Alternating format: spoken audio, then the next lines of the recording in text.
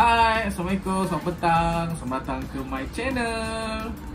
Okay, hari ni kita akan buat uh, resipi Memasak uh, pais jagung. Okay, yang diperbuat ataupun dibuat oleh istri saya sendiri. So, nantikan.